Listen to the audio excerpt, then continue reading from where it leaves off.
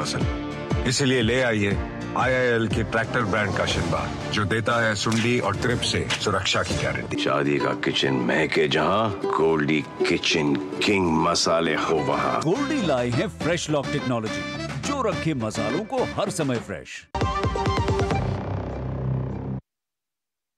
और ब्रेक के बाद अब बात करते हैं जम्मू कश्मीर की। विधानसभा चुनाव की घोषणा के बाद से जम्मू कश्मीर में राजनीतिक हलचल लगातार तेज होती जा रही है। आज कांग्रेस और नेशनल कॉन्फ्रेंस ने मिलकर चुनाव लड़ने का ऐलान किया है तो बीजेपी ने कांग्रेस से कई सवाल पूछे हैं। नेशनल कॉन्फ्रेंस अपने घोषणा पत्र में 370 धारा को लागू करने, स्वायत्तता को लागू करने और पाकिस्तान से बातचीत करने की बात पहले ही कह चुका है। ऐसे में बीजेपी ने इन तमाम राष्ट्र विरोधी मुद्दों पर कांग्रेस से अपना रुख साफ़ करने की बात कही है। जम्मू कश्मीर में होने वाले विधानसभा चुनाव के लिए सियासी सरगर्मियाँ तेज हो गई हैं।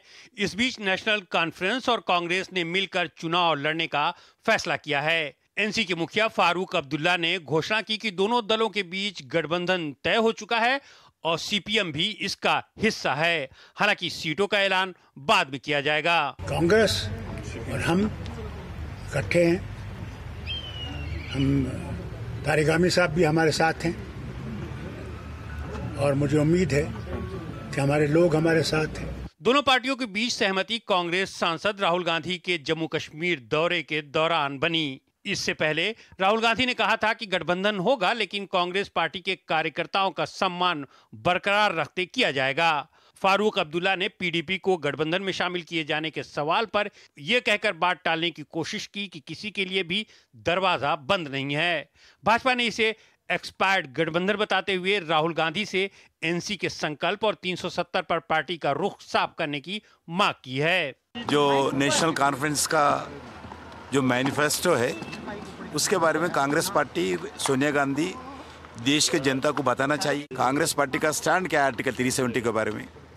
जो डॉक्टर बाबा साहब अंबेडकर का कॉन्स्टिट्यूशन के आधार पर जम्मू कश्मीर जनता को जो अधिकार नरेंद्र मोदी सरकार दिया गया, वो वापस लेना चाहते क्या? जिन्ना कॉन्स्टिट्यूशन के अंदर छोड़ते क्या? बताना चाहिए। मेरा उनसे एक ही निवेदन है कि हमें बता दीजिए, जम्मू कश्मीर की और देश की जनता जानना चाहती है। पैंतीस ए पर आपका स्टैंड क्या है? निर्दोषों की हत्या करने वाले आतंकवादियों पर, उग्रवादियों पर जिनके हाथ में हथियार और दूसरे हाथ में पाकिस्तान का झंडा व एजेंडा है, कांग्रेस का उस पर स्टैंड क्या है? नेशनल कॉन्फ्रेंस ने मंगलवार को जारी किए गए अपने घोषणा पत्र में अनुच्छेद 370 की बहाली और वर्ष 2000 में तत्कालीन विधानसभा द्वारा पारित स्वायत्तता प्रस्ताव का क्रियान्वयन पाकिस्तान से बातचीत जैसे मुद्दों को शामिल किया है। भाजपा एनसी के घोषणा पत्र को राष्ट्र विरोधी बता चुकी है।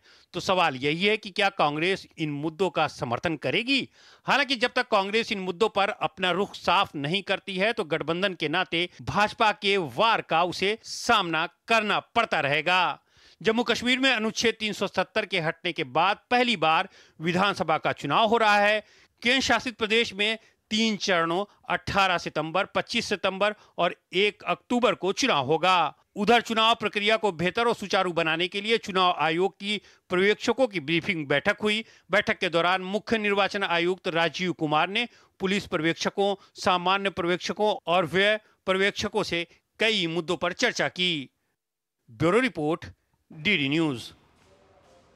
यहाँ पर एक और छोटे से ब्रेक के लिए रुकते हैं। शादी का किचन महके जहाँ गोल्डी किचन किंग मसाले हो वहाँ। गोल्डी